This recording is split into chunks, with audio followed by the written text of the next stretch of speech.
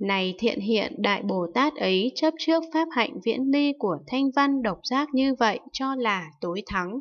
khinh miệt chê bai những vị an trụ Bồ Tát thừa, tuy ở chỗ ồn ào mà tâm vẫn tĩnh lặng, các bí xô mà thiện pháp đã thành tựu điều hòa vân vân, rằng họ chẳng có thể tu hạnh viễn ly, thân ở chỗ ồn ào, tâm chẳng tĩnh lặng. Này thiện hiện Đại Bồ Tát ấy đối với Đại Bồ Tát, an trụ hạnh chân viễn ly mà chưa như lai ứng tránh đẳng giác cùng khen ngợi,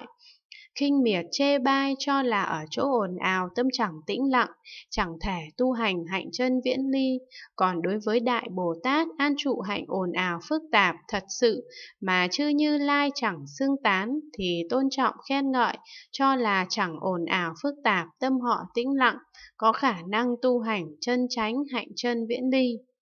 Này thiện hiện Đại Bồ Tát ấy đối với người như bậc đại sư nên thân cận, cung kính cúng dường, thì chẳng thân cận, cung kính cúng dường, trái lại sanh khinh miệt. Còn đối với kẻ như bạn ác đáng xa lìa chẳng nên phụng sự, thì chẳng xa lìa mà lại cung kính cúng dường phụng sự như bậc đại sư.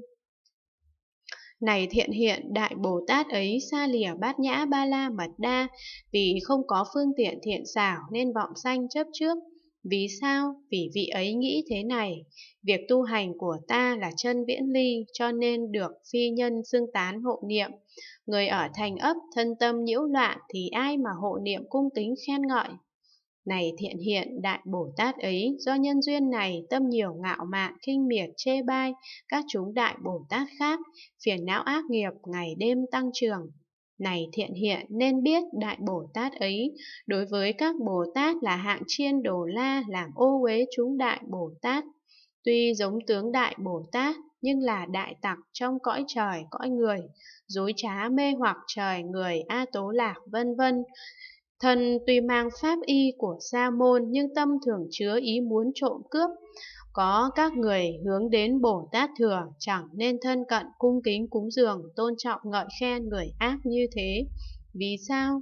Này thiện hiện nên biết người ấy ôm lòng tăng thượng mạng, bên ngoài giống Bồ Tát nhưng bên trong nhiều phiền não.